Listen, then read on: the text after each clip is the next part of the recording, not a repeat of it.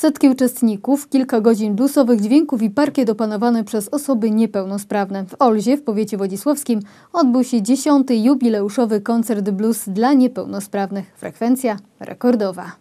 Dokładnie 833 osoby niepełnosprawne bawiły się w rytmach bluesa. Tu jest tak fajnie, taka fajna, o, taka fajna atmosfera, pełno ludzi. Tańczymy takie rudy wygibasy i inne rzeczy. No, ja e, witam wszystkie ośrodki i stowarzyszenia. Jak widać impreza jest rozkręcona i naprawdę warto przyjechać. Tegoroczna edycja była jubileuszowa. Zaczynaliśmy 10 lat temu, pierwszy blues.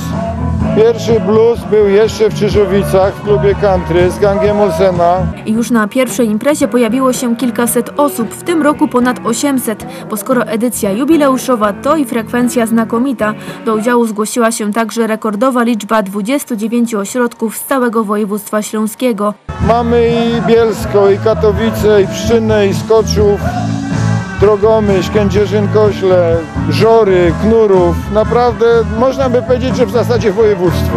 Takie wydarzenie to świetna okazja nie tylko do zabawy, ale do integracji osób niepełnosprawnych. Na pewno, na pewno pod dużym wrażeniem jestem tego i cieszę się, że tu dzisiaj przybyłem. Osoby niepełnosprawne y, lubią y, tego typu rozrywkę, bardzo lubią tańczyć, śpiewać, bawić się, więc y, no, na pewno byśmy tej imprezy nie opuścili. Widzę ogromną, ogromną radość, ogromne zainteresowanie.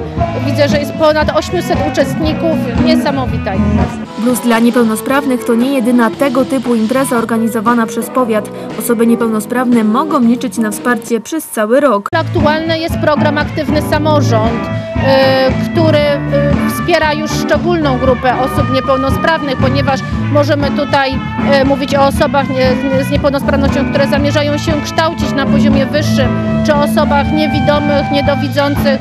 Y, To jest wsparcie w zakupie sprzętu y, rehabilitacyjnego czy prawa jazdy dla osób niepełnosprawnych. Być może zostanie też uruchomiony kolejny program, w ramach którego pomoc będzie jeszcze szersza.